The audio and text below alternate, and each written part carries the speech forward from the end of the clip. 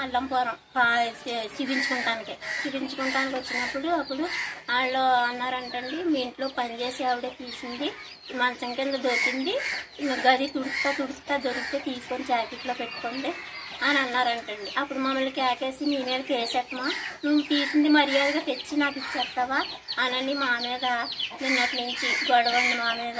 ఏ రాత్రి తిండి తిప్పి లేకుండా నీరసంతో అలా పడున్నామండి మేము. ఊరికి గుడ్డికి లోటు లేకుండా మాకు అలా పోతుంది కానండి మాకు ఎప్పుడు అసలు అలా దొంగ డబ్బులు అడిగి తెచ్చుకుంటాం కానీ అలాంటి బుద్ధి మాకు లేదండి అసలు మరి ఏంటండి మరి మా బతుకులు ఏంటండి? మేమేంటండి? మేము ఏదో పాల డబ్బుల కోసం పని చేసుకుంటే మా మీద అలాగే ఎట్టకూడదు కదన్నా రామశివ్ గారు.